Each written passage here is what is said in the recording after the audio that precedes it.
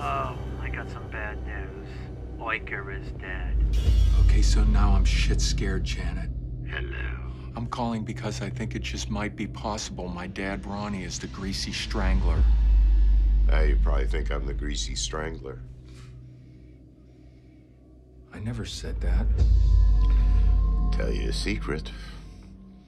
I am the greasy strangler. Hey, I call bullshit on that.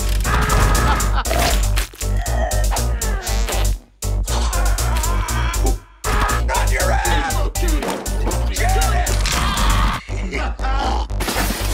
I could feast on that queen's ass all night long.